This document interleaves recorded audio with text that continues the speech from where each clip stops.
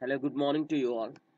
Today we'll see how we can change the Twitter username. The Twitter username in the sense, for me it is at the rate of 123 gadgets news.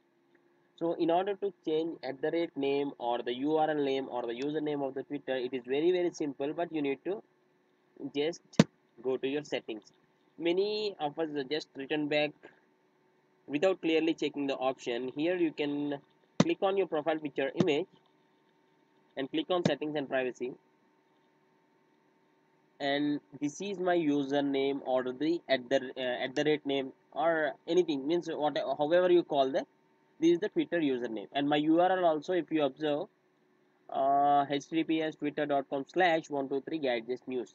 If i change this username this urls also will be get changed. So uh, i have seen some people who want to have a different username or at the rate at the rate a new name uh, went to a new profile. Means uh, they created a new twitter page.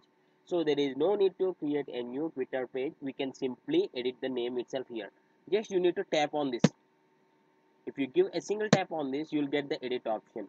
For example uh, twitter gadget news if i take as um, info.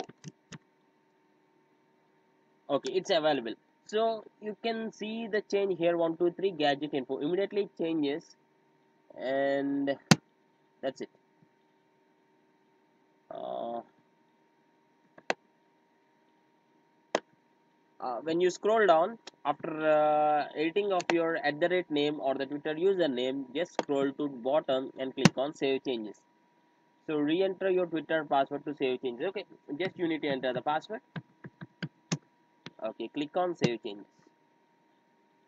So my twitter name is successfully changed. You can observe here. I'll click on this.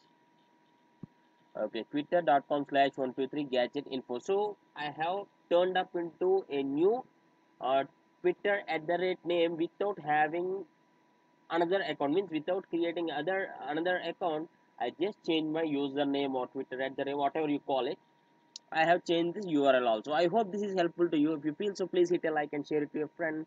And thanks for watching. Have a nice day